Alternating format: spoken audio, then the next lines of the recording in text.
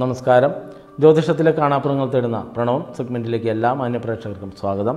ഇന്ന് നമ്മൾ പറയുന്നത് നമ്മളെ ഒത്തിരി പേര് വിളിച്ചിട്ട് കിട്ടുന്നില്ല. അപ്പോൾ നമ്മുടെ ഹെൽപ്പ് ഡെസ്കിനെ കുറിച്ചാണ്.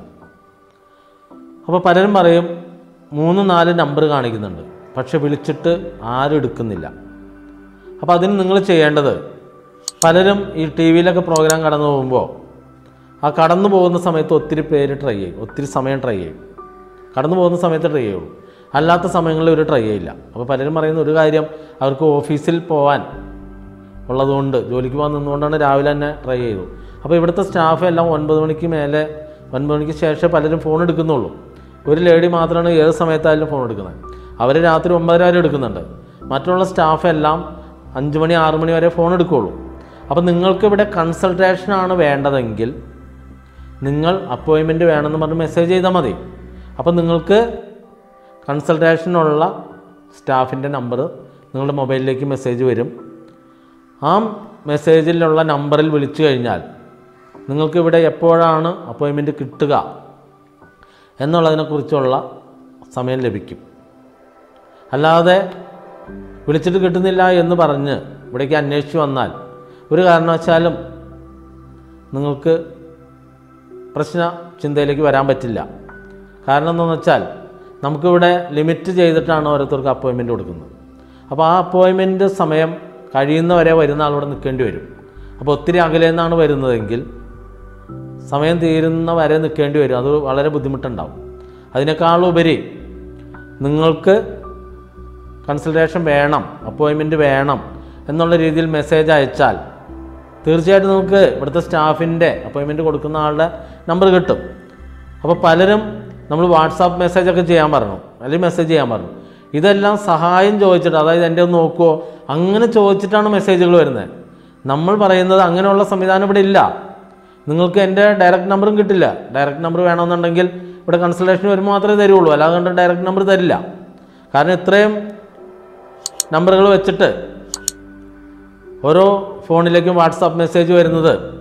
ഒരു ദിവസം വരുന്ന മെസ്സേജ് ഉണ്ടെങ്കിൽ നമുക്ക് ഒരു മാസം ഇരുന്ന് മറുപടി പറഞ്ഞാൽ പോലും ഒരിക്കലും നമുക്ക് അതിലേക്ക് എത്താൻ പറ്റില്ല.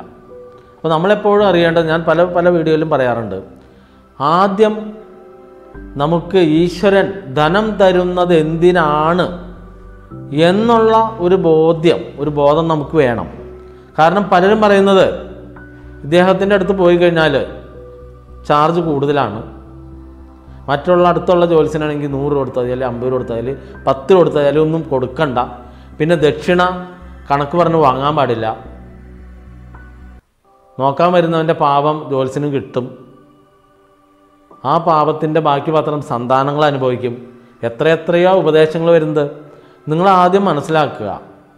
ജ്യോതിഷം എന്ന് പറയുന്നത് നമ്മുടെ മഹർഷീശ്വരന്മാർ ആർഷഭാരത സംസ്കാരം എന്ന് പറയുമ്പോൾ ഋഷി പരമ്പര നമുക്ക് നേടിത്തന്ന ഈ മഹാശാസ്ത്രം നമ്മുടെ ജീവിതം കരുപ്പിടിപ്പിക്കുന്നതിന് വേണ്ടിയിട്ടാണ്. നമ്മുടെ ജീവിതത്തിന്റെ ആതുരാലയമാണ് ജ്യോതിഷാലയം. ആസ്ട്രോളജർ ദൈവജ്ഞൻ എന്ന് പറഞ്ഞാൽ നമ്മുടെ ജീവിതം റിവേഴ്സ് ചെയ്യുന്നതിന് വേണ്ടിയിട്ട് ഈശ്വര നിയോഗം കിട്ടിയ ഒരാളാണ് എന്നുള്ള ഒരു ബോധ്യം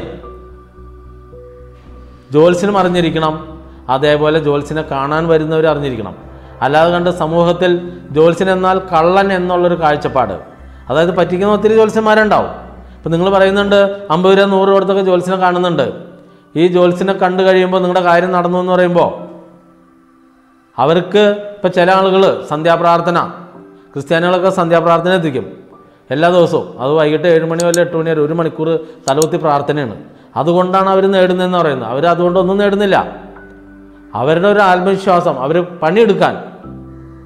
ക്രിസ്ത്യൻ മുസ്ലിം സമുദായങ്ങൾ നല്ല കഠിനാധ്വാനികളാണ്. ഹിന്ദുക്കളും മടിയന്മാരുമാണ് അപ്പോൾ അതുകൊണ്ടാണ് പിന്നോട്ട് വലിയുന്നത് അല്ലാതെ അവർ പ്രാർത്ഥന എത്തിക്കുന്നതുകൊണ്ടല്ല നമ്മളെപ്പോഴും കഠിനാധ്വാനം ചെയ്യണം. ഞാൻ പലപ്പോഴും പറയാറുണ്ട് ഞാനെല്ലാം എന്റെ ചെറുപ്പകാലങ്ങളിൽ വെളുപ്പിന് അഞ്ച് മണിക്ക് എഴുന്നേറ്റ് ജോലി തുടങ്ങിയാൽ രാത്രി പന്ത്രണ്ട് ഒരു മണി വരെ ജോലി ചെയ്യായിരുന്നു. എനിക്ക് ഒരു മടി ഉണ്ടായിരുന്നില്ല പണിയെടുക്കുന്നതിന്. എന്റെ സ്റ്റാഫ് സാധാരണ പത്ത് മണിക്ക് അവർ പോയി കഴിഞ്ഞാൽ മൂന്ന് മണി നാല് മണിയാകുമ്പോൾ അവർ ജോലി കഴിഞ്ഞ് അവർ വരും. പക്ഷെ ഞാനാണെങ്കിൽ ഒൻപത് മണിക്ക് പോയാൽ അല്ലെങ്കിൽ പത്ത് മണിക്ക് പോയാൽ രാത്രി ഒൻപത് പത്ത് മണിയാവുകൊണ്ട് തിരിച്ചെത്തില്ല.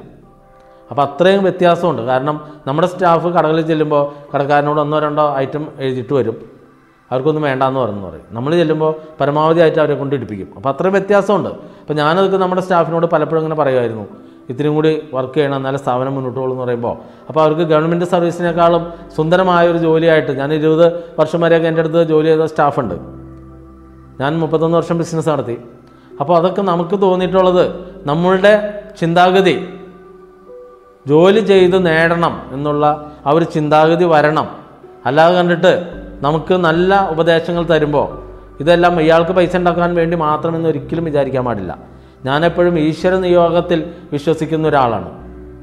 സത്യമായ ഈശ്വരൻ എന്ന് പറഞ്ഞാൽ നഗ്ന നേത്രങ്ങൾ കൊണ്ട് കാണാൻ സാധിക്കില്ല എന്ന് വിശ്വസിക്കുന്ന ഒരാളാണ്.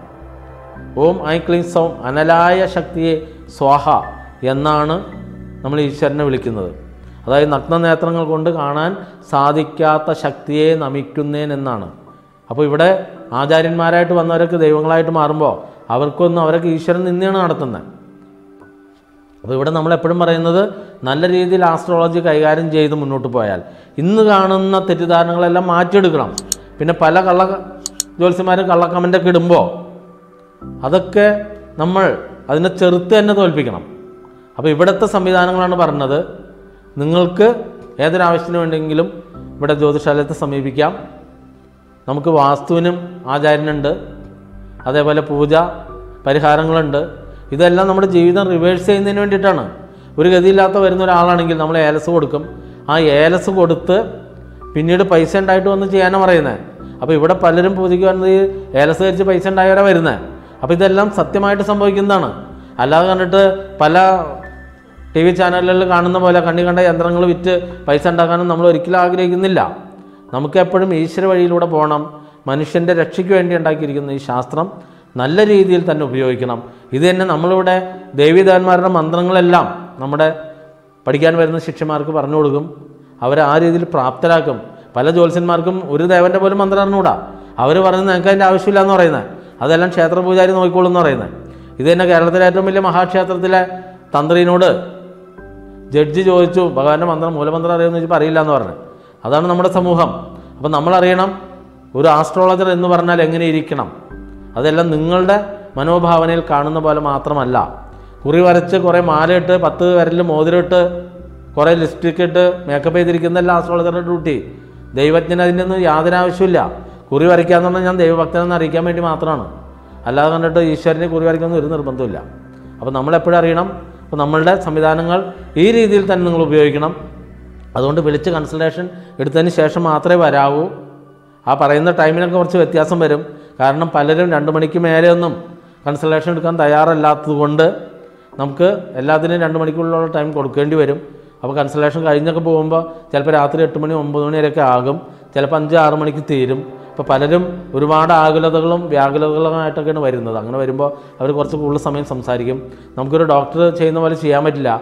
കാരണം ഒരു ഡോക്ടറാണെങ്കിൽ രോഗിനോട് കാര്യം പറഞ്ഞാൽ മനസ്സിലാവുന്നില്ല എന്നുണ്ടെങ്കിൽ ആ രക്തം ഒന്ന് പരിശോധിച്ചിട്ട് വരാൻ പറഞ്ഞ് മാറ്റിവിടാം. അപ്പോൾ അതിന് ഗ്യാപ്പ് ഇട്ട്. ഇവിടെ അതൊന്നും നടക്കില്ല. ഇവിടെ ആസ്ട്രോളജർ തന്നെ എല്ലാ കാര്യവും നേരിട്ട് തന്നെ പറയണം.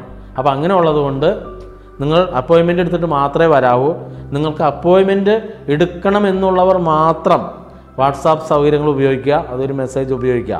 അല്ലാതെ കണ്ട് നിങ്ങളുടെ ഒന്ന് പറഞ്ഞു തരാമോ എന്ന് ചോദിച്ചാലും ഞങ്ങൾക്ക് ഇവിടെ നോക്കാൻ സമയം ഉണ്ടാവില്ല. അല്ലാത്ത നമ്മൾ വീഡിയോയ്ക്ക് കമന്റ് ഇട്ടാൽ അതിലൊരു അഞ്ച് പേർക്ക് വെച്ച് ഓരോ വീഡിയോയ്ക്കും ഞങ്ങൾ മറുപടി പറയുന്നതായിരിക്കും അപ്പോൾ ആ സൗകര്യം നിങ്ങൾ ഉപയോഗിക്കണം. അല്ലാതെ കണ്ട് അകലെ നിന്നൊക്കെ അന്വേഷിച്ച് വന്നിട്ട് മടങ്ങിപ്പോയി രണ്ടാമത് വരുന്നതിനുള്ളൊരു സാഹചര്യം ഉണ്ടാക്കുന്നതിനേക്കാളും നല്ലത് എപ്പോഴും നിങ്ങൾ അപ്പോയിൻമെന്റ് എടുത്ത് വരുന്നതായിരിക്കും. അപ്പോൾ അങ്ങനെ ചെയ്താലേ നിങ്ങൾക്ക് അതിന്റെ വഴിയിലേക്ക് പോകാൻ സാധിക്കുകയുള്ളൂ. കാരണം ഇതൊക്കെ പറയാൻ കാരണം ഇങ്ങനെ പല അകലെ നിന്നൊക്കെ അന്വേഷിച്ച് വന്നിട്ട് ഒത്തിരി നേരം വെയിറ്റ് ചെയ്തിട്ടൊക്കെ പിന്നീട് കാണാണ്ട് പോകേണ്ട ഒരു അവസ്ഥയൊക്കെ വരുന്നുണ്ട്. അപ്പോൾ അതുകൊണ്ട് നമുക്ക് ലിമിറ്റ് ആളുകളിവിടെ നോക്കാൻ സാധിക്കുകയുള്ളൂ. അപ്പോൾ ആ കാര്യങ്ങളെല്ലാം മനസ്സിലാക്കുക. ഇന്നത്തെ പ്രണവം ഇവിടെ പൂർണമാകുന്നു നന്ദി. നമസ്കാരം.